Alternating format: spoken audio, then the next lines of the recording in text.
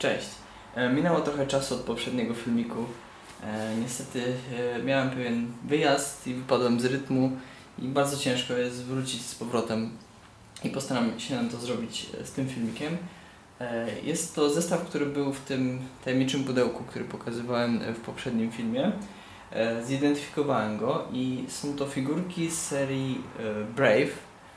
A pełny tytuł, jeśli się nie mylę, to jest The Brave Fighters of Legend The Gram. Coś w tym stylu. E, Są to figurki podobne do Transformerów, także zrobione przez Takarę. Jednak e, sama seria, przynajmniej e, dla mnie, nie wydaje się atrakcyjna poza częścią wizualną, no i oczywiście poza figurkami, chociaż nie do końca, o tym powiem później. Niektóre z tych figurek możecie kojarzyć z Polski w innej formie, na przykład to było dostępne w różnych wersjach KO.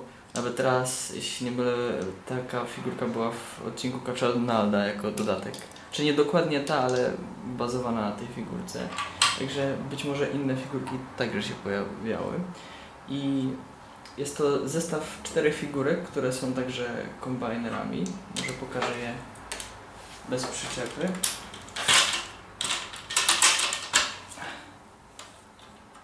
Tutaj także chowa się jedna z figurek.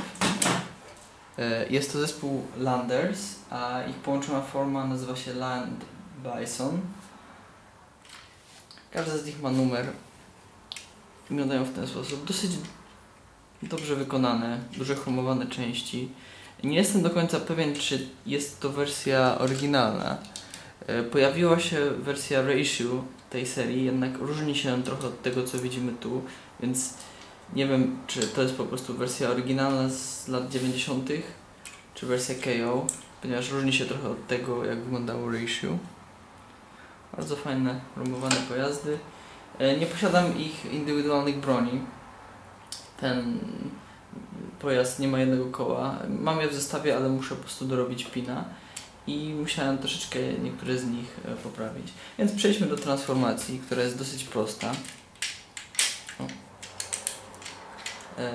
widziałem jakby parę fragmentów tej serii.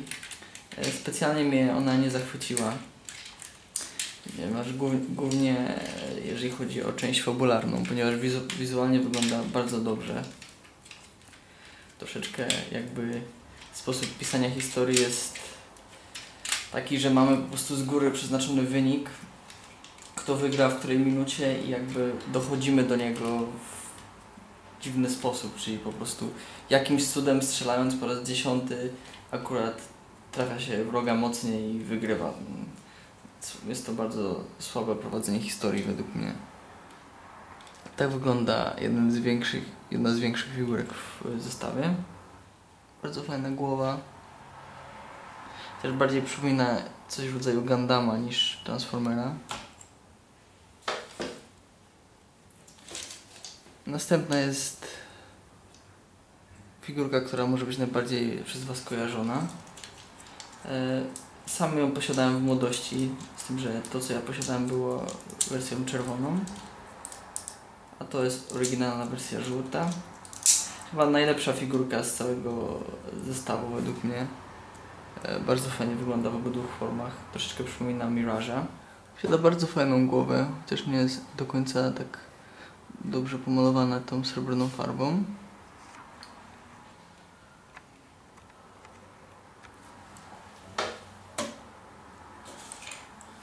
E, Kolejny jest taki pojazd. Ten silnik był zablokowany, jest jakby nadłamany w jednym miejscu, więc musiałem całą figurkę rozkręcić, aby móc e, zmienić ją w formę robota. Transformacja jest bardzo prosta. W zasadzie tylko kilka prostych ruchów. I ta głowa, jak mówiłem, ma problem z obracaniem się, ale teraz y, po moich naprawach może się ruszać, chociaż nadal chodzi to ciężko. Cała jest chromowana, więc y, ten ruch sprawia sporo problemów. Przypomina trochę Iron Hide'a. E, Czwarty z członków oddziału to jest to taki mały czołg, maszyna do kopania. E, Transformacja tak samo jak w przypadku innych jest bardzo prosta. Myjemy ręce, głowę. I oto mamy ostatniego członka oddziału. Głowy są bardzo fajne, chociaż czegoś im brakuje. Nie jestem w stanie dokładnie powiedzieć co to jest, ale czegoś mi po prostu w nich brakuje. Dobra. Tak wygląda cały oddział. Oczywiście powinni oni także posiadać jeszcze swoje indywidualne bronie, których niestety nie mam, więc pokażę Wam może jak wygląda ich forma połączona. Także widziałem tą serię już wcześniej w różnych formach, e, ale nie wiedziałem dokładnie, e, które figurki do niej należą. No, muszę przyznać, że nie jestem do końca e, fanem tego, w jaki sposób te figurki wyglądają. Być może, znaczy nie, nie są złe, jednak jakby ta stylistyka jest bardziej gandamowa może, nie wiem jak to opisać, po prostu nie przypomina tych Transformerów. To także jest ciekawe, ponieważ myślałem, że zastanawiałem się dokładnie, która część estetyki tych figurek mi sprawia, że je tak lubię i czy to chodzi po prostu o zwykłe roboty w ciekawej formie, czy coś więcej, więc teraz mam odpowiedź, ponieważ e, ta figurka prawdopodobnie nie zostanie w mojej kolekcji, ponieważ nie spełnia moich jakby wymogów estetycznych poza e, tym panem. Także przechodząc dalej. Ten pojazd tworzy nogi. Następnie zmieniamy tego pana. Y, Nie jestem dokładnie pewien, jak ta transformacja przebiega, więc mogę się na chwilkę zatrzymać, ponieważ y, jakiegoś czasu jej nie robiłem, ale jeśli się nie mylę, to wpinamy tu. Tak, a to blokujemy za jego plecami. Jeszcze raz. Dosyć sztywne są jak na figurki, które zakładam mają parę lat. Tak wygląda. Połączone oczywiście tu brakuje mi koła. Posiadam je, ale tak jak mówiłem, na razie po prostu nie będę tego montował. E, teraz ten pan. E, to dzielimy tak. Tu pojawia się głowa. E, jak to dalej szło, to szło tu. Jak mówię, będę się prawdopodobnie zatrzymywał trochę podczas tego, tego procesu. Głowa zamieniamy z powrotem w silnik. I to jest właśnie ten problem, kiedy to wszystko się blokuje. Częściowo jest to spowodowane tym, że kawałek jest włamany, a częściowo jest to spowodowane tym, że wszystko jest chromowane. Zakładam, że podczas chromowania ciężko jest określić, jak gruba będzie ta warstwa chromu. I tolerancja jest różna. O, udało się. Teraz, jeśli się nie mylę, głowę ustawiamy tu, a to to wygląda w ten sposób. A całość łączymy tak, blokujemy to takim małym zawiasem. Także całość jest po odpowiednim podłączeniu jest dosyć stabilna. Nie rusza się. I ostatni członek oddziału, który robi coś, czego bardzo nie lubię w figurkach. E, tak, a dokładniej dzieli się na pół. Co jest bardzo słabym zagraniem według mnie i dysk i dyskwalifikuje według mnie tą figurkę, ponieważ bardzo nie lubię jak poznać, postacie są przecinane na pół. Także Niemniej jednak wygląda ładnie w formie połączonej, co- zaraz Wam pokażę. Porty są bardzo dobrze zrobione.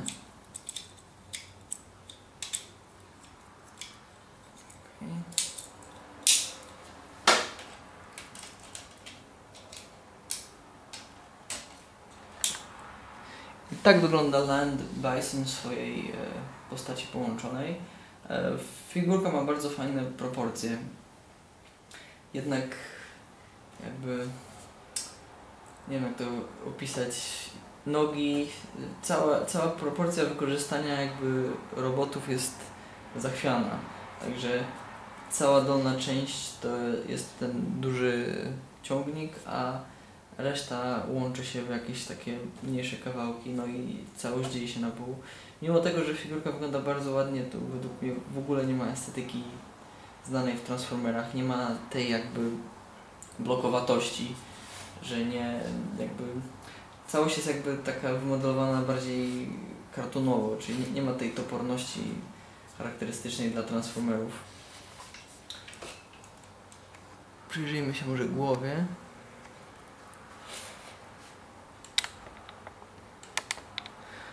Głowa jest bardzo ładna. Gdyby nie te rogi, mogłaby spokojnie ujść za Transformera. E, Z tego co widziałem na zdjęciach, ten jakby mouthplate jest jakby innego koloru niż w innych wersjach jest on srebrny, także podejrzewam, że to albo może być jakaś wczesna wersja, albo wersja KO.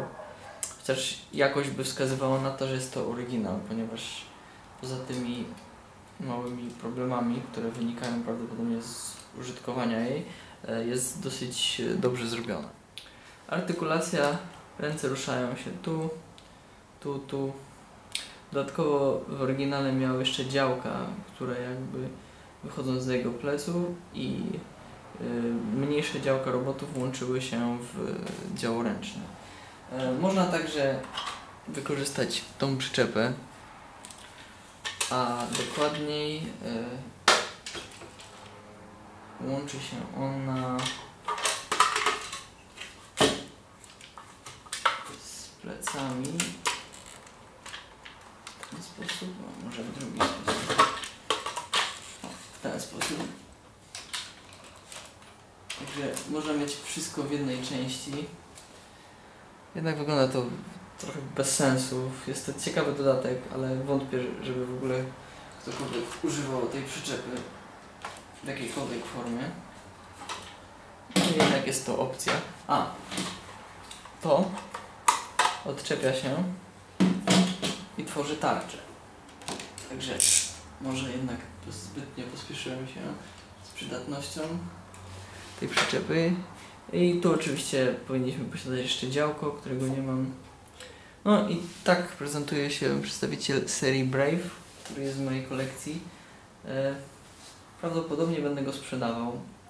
Jednak miło było się przyjrzeć takim figurkom z bliska. Na pewno dla wielu osób taka estetyka będzie atrakcyjna. Myślę, że może przypaść do gustu fanom Gundamów i tego typu figurek. Sam osobiście e, tych wspomnianych figurek nie lubię. Jednak no, zapraszam do zapoznania się z tą serią. Animacja jest naprawdę znakomita. Prowadzenie historii już troszeczkę mniej według mnie, ale wizualnie można naprawdę zobaczyć parę fajnych sekwencji. Dam w opisie link do. O. Dam w opisie link do jakby do animacji z tą postacią, żebyście mogli zobaczyć. I dziękuję za obejrzenie tego filmu i zapraszam na następne. Mam nadzieję, że będę miał okazję zamieszczać e, z powrotem większą ilość filmików. Dziękuję.